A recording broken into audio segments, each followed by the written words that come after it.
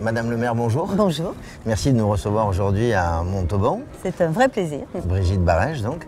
Euh, nous sommes ici sur la place nationale, donc vous étiez en train de me dire que c'était ici que tout avait commencé. C'est vrai. Quand le comte de Toulouse a, consenti euh, au futur Montalbanais de pouvoir construire euh, sur ces terres ici euh, un- une, future ville, elle est assez récente, en 1144, c'est pas très vieux, au XIIe siècle, au Moyen Âge, eh bien, ils ont choisi cet emplacement au bord du Tarn, évidemment, parce que beaucoup de transports se faisaient par voie fluviale à l'époque. Et le cœur de la ville s'est construit autour de cette place. On est venu aujourd'hui pour vous entendre parler de toute la partie euh, urbanistique, on va dire, tous Oui. les projets que vous allez faire à Montauban, mais un petit peu un petit périmètre de conversation avec vous. Hier, c'était la journée de la femme. Oui. Euh, aujourd'hui, on est sur la place, on voit derrière marqué euh, Olympe. Oui. Euh, Est-ce que vous pouvez nous parler de, ce, Ah, Olympe de de Gouges. cette histoire Olympe de Gouges, une monte albanaise hein, qu'on essaie de, de- de faire mieux connaître ici même à Montauban, parce qu'elle était connue internationalement et peut-être pas dans son berceau natal. Donc elle a vécu ici. Elle est, quand son mari est mort, elle est partie, elle était très jeune, à Paris, où elle au moment de la Révolution française, et elle s'est illustrée par. euh, C'était une femme de lettres, elle était dans les salons, elle a euh, soutenu la Révolution française, et dans ce cadre-là, elle a été précurseur, notamment sur les droits de la femme, mais pas que. Elle s'est battue contre l'esclavage.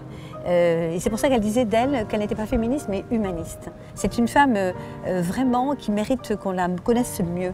Donc c'est pour cela que chaque année, le 8 mars, la fête internationale des femmes, nous fêtons euh, Olympe par le biais des journées Olympe de Gouges. Nous sommes donc à Montauban, euh, à peu près, euh, on va dire, 50 km de, de Toulouse. Nous sommes... euh, Une demi-heure, une demi-heure en voilà. train, une Voilà. demi-heure en voiture. Voilà, 60 000 habitants, c'est ça? C'est ça aujourd'hui, on a dépassé 60 000. Nous prenons depuis quelques années 1000 habitants par an. Je vous invite à aller nous balader Ouais, avec cette avec plaisir. balade. Je veux bien vous amener sur un des premiers projets du premier mandat. C'est le fameux parking souterrain qu'il fallait pour amener du stationnement en centre-ville, parce que comme vous voyez, les rues sont étroites, comme toutes les villes qui ont été construites au Moyen Âge. Donc, on a fait un grand parking souterrain et on a aménagé dessus une belle esplanade qu'on appelle l'esplanade des Fontaines. Donc nous sommes pas loin de la place des Fontaines, donc comme convenu, et aussi devant Pénélope. Oui, Petit clin d'œil. Petit clin d'œil à Bourdelle, oui, notre sculpteur euh, historique, parce que nous avons en fait deux artistes majeurs à Montauban. Jean-Dominique Ingres, le peintre plastique, Oui. euh, que vous connaissez, euh, euh, qui dans le musée va être fermé pendant trois ans pour les travaux. Ouais. Et puis nous avons Bourdelle. Là, nous sommes sur les allées hein, qui font partie donc, du futur projet. C'est le futur projet, c'est les allées de l'Empereur. Je les ai rebaptisées allées de l'Empereur quand on a fêté le bicentenaire de la création de ce département par Napoléon. Aujourd'hui, on est à côté. Alors, les- la Maison de la Culture. La Maison de la Culture. C'est l'ancien collège de jésuites. Oui. où nous allons d'ailleurs, nous avons le centre d'interprétation du patrimoine, et nous allons pendant quelques temps, pendant les trois ans de fermeture du musée, exposer euh, un musée itinérant d'Ingres. D'accord. Et là, ça va devenir des allées principales. Alors, voilà. Végétalisées. Alors voilà, je tiens beaucoup à ramener de la végétalisation euh, en centre-ville. Quand je revois les cartes postales de l'époque, il y avait des bosquets partout. Je voudrais en fait créer une continuité verte depuis le jardin des plantes où nous allons arriver euh, tout à l'heure, euh, qui, est, euh, qui borde les remparts, les anciens remparts de, de Montauban. Allez, un petit Central Park, je vais dire ça très modestement, de Manhattan, Montalbanais. Très bien. Bonne inspiration. Bravo. donc là, nous allons aller jusqu'à la place de la préfecture. Voilà, donc la, la place de la préfecture qui il se trouve juste au milieu euh, des allées de l'Empereur d'un côté, des allées Mortarieux de l'autre, qui sont en fait la continuité de ces allées. Et donc, ce grand projet dont vous parliez, de l'architecte dont on parlait tout à l'heure, Oui. eh bien, euh, a pour but de requalifier complètement ces espaces sur toute la longueur, euh, avec cette volonté de végétaliser, cette volonté de faire la place aux piétons, pour mieux border notre cœur. Vous avez vu notre cœur historique qui est extrêmement euh, délicat, avec des hôtels euh, magnifiques, des rues piétonnes. Eh bien, il mérite qu'il soit mieux accompagné sur ces faubourgs. Donc, c'est ce qu'on va essayer de faire dans ce grand projet. On parle beaucoup hein, de ce problème de, commerce qui ne marche pas dans les petites et moyennes villes. Comment, quelles sont les idées en fait euh, L'urbanisation, euh, euh, remettre du vert dans les villes et, et les autres idées que, que vous Ah ben, pouvez mettre en place pour- Il y a sur tous les plans. D'abord, la sécurité, ça a été important. Mais ensuite, effectivement, il faut amener de la qualité. Les centres-villes, pour moi, ils sont appelés à amener du commerce de qualité. La reconquête des centres-villes, c'est à la fois les commerces, les pieds du meuble, mais il ne faut pas oublier l'habitat qui est au-dessus. Je crois qu'autour de la cathédrale. On va privatiser le, enlever la circulation routière sur le parvis de la cathédrale. C'est-à-dire que devant la cathédrale, on va améliorer le parvis Oui. pour qu'il y ait une belle continuité.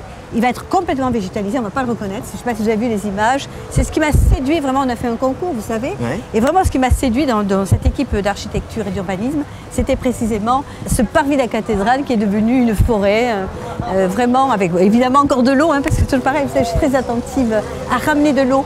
C'est une ville comme Toulouse où il fait chaud l'été, Oui. et on a besoin eh ben, d'être hydraté, brumisé. Donc voilà pourquoi on a des fontaines euh, un peu partout. Là, on est au. Vous voyez les allées qu'on va continuer à faire, qui maintenant ne s'appellent plus les allées d'Empereur, mais les allées Mortarieux. Oui. Eh bien, euh, longe la cathédrale. Alors, c'est pas la cathédrale d'Albi, la cathédrale de Montauban, c'est une cathédrale classique, Oui. euh, bon, qui est imposante, qui a été construite, Notre-Dame de l'Assomption, c'est ça? Euh, qui a été construite euh, par, après les guerres de religion pour reprendre cette ville protestante. On va faire en sorte de, là aussi, de créer un parking souterrain et d'enterrer les voitures pour libérer l'espace, l'espace pour les piétons, et puis créer de la végétalisation partout euh, pour finalement amener une langue verte qui sortira du jardin des plantes qu'on va voir tout à l'heure en surplomb Oui. et pour ramener de la verdure de ce jardin des plantes sur le centre-ville. Et donc, euh, on arrive sur euh, c'est le faubourg du Moustier. C'est une, très belle euh, avenue qui était une entrée de ville à l'époque, qui est bordée d'hôtels particuliers magnifiques, un petit peu comme ceux qu'on a vus tout à l'heure, de la même époque, et qui sont en surplomb sur un vallon dans lequel a été créé un jardin des plantes magnifique, mais qui est en contrebas. Donc, vous voyez les grilles en face. Toute cette partie-là, c'est euh, le marché de producteurs. Vous voyez, euh, ils ont tenu à ce qu'on l'écrive. hein. Marché Marché de des producteurs. producteurs, Voilà. voilà. Ce jardin des plantes, euh, c'est quand même une chance inouïe de l'avoir.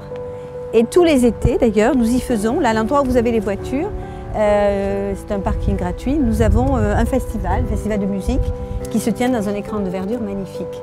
Donc, euh, il y a un petit ascenseur hein, que vous voyez arriver là, un genre de téléphérique. C'était un vallon hein, qui a été amélioré. Il y avait de, il y a de très belles essences. euh, C'est un petit poumon vert. Eh bien, dis donc, Madame le maire, quelle énergie La culture, l'histoire, l'architecture, l'urbanisme, la politique, tout ça, euh, à travers un personnage qui est très, effectivement, très dynamique. C'est Euh, une passion, je crois. ouais, passionné, Je ouais. crois que c'est tellement agréable de construire, de, de dessiner une ville. Ravi de vous avoir rencontré, au plaisir. C'est un plaisir Au aussi partagé. Merci de votre intérêt pour Montauban. Avec plaisir. Au revoir, madame.